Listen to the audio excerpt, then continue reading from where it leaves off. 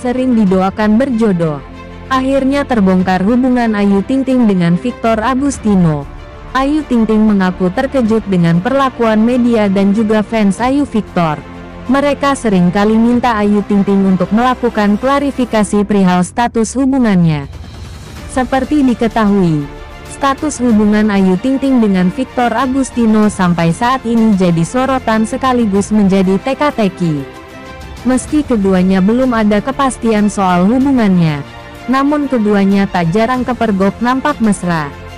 Kini, ibu anak satu itu pun berani buka suara terkait hubungannya dengan Victor Agustino. Hal tersebut diungkap oleh Ayu Ting Ting menjelang konser album barunya, Sakit Tanpa Luka.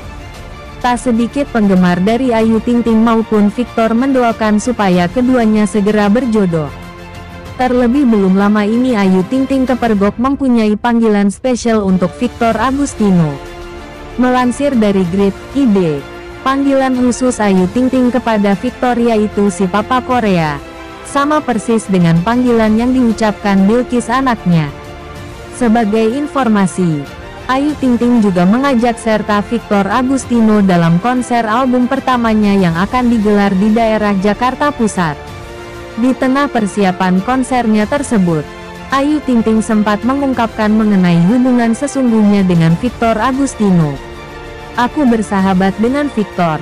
Kita banyak sekali apa ya kolaborasi yang bersama-sama gitu ya. Kata Victor dilansir dari YouTube Grid ID.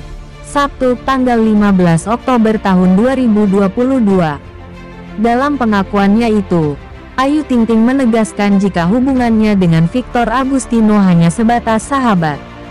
Ayu Ting Ting pun menyadari jika banyak yang menyukai mereka saat tampil berdua. Kita juga punya cerita panjang dengan Victor. Victor sahabat yang baik. Ia pendatang baru yang punya masa depan cerah terutama di karirnya sebagai artis pendatang baru di dunia hiburan tanah air, jelas Victor.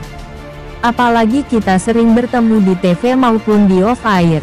Orang-orang juga senang nonton kalau kita lagi berdua. Kitanya juga happy. Ungkap Ayu Ting Ting.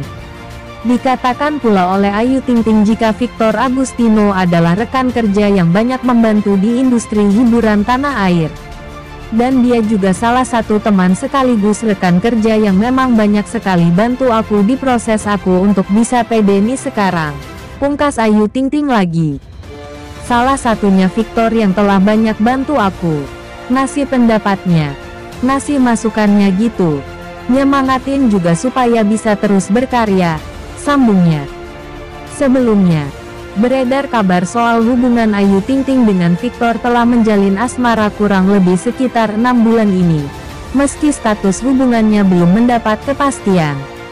Namun, rupanya isu tersebut langsung dijawab oleh Ayu Ting Ting jika sejauh ini hubungan keduanya masih sebatas sahabat.